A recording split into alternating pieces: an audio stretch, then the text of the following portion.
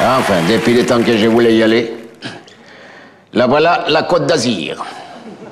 Moi, je voulais aller au Touquet. Mais il plaît un jour sur deux là-bas. Et comme à l'hôtel, ils n'ont pas accepté mes conditions, des payés moitié prix les jours de pluie, ils ont perdu un client et puis c'est tout. Ici, il fait chaud, mais au moins, il plaît pas.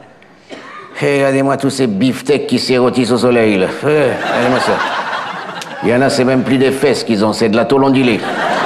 Ah, ouais, celle-là, regardez ça. Avec les Saint-Bernard en vadrouille, là. Et l'autre à côté, elle en a des petits avec des gros bouts. Elle irait bien avec mon voisin, dis donc. Celui de la radio. Parce que lui, il a des petites mains et une grande gueule.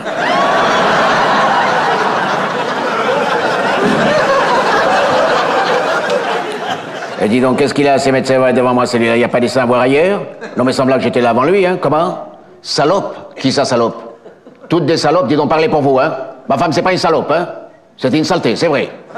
Mais c'est pas une salope, comment Elles font ça exprès pour nous exciter Moi, ça m'excite pas. Je dis pas qu'il n'y a pas des femmes qui font pas ça exprès pour vous exciter, mais c'est la loi de l'offre et de la demande, hein Ce type-là, il doit souffrir d'une agressivité embryonnaire. C'est-à-dire que quand il était petit, il a dû être nourri au lait en poudre. Forcément, il en veut à toutes les mamelles. Et Fred, il explique ça très bien, hein, Fred. Comment? C'est de la provocation. Ah oui, c'est ça que j'ai dit, oui, c'est de la provocation. Comment? Il n'y a qu'à répondre à la provocation par la provocation. Oui, bah, répondez sans moi. Hein. Je tiens pas à l'attraper un coup de soleil là-dessus, hein.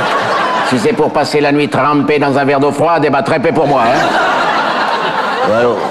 Mais c'est vrai que c'est une incitation dans la débauche. Faudra pas s'étonner si après ça, il y en aura trois fois plus de veuves du troisième âge que de veufs. Et pourtant, il n'y a pas de guerre en France. Ça vient de quoi? Tout simplement que c'est un grand docteur qui me l'a dit. Que le cœur a des milliers de fibres, des petites fibres. Et chaque fois que l'homme fait la... La... La chose que la morale réprouve, mais que la physique approuve, il a une centaine de fibres qui cassent.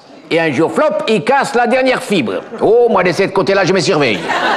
Ça fait peut-être cinq ans que j'ai pas cassé des fibres. Tiens, en voilà une autre sans soutien-gorge, là.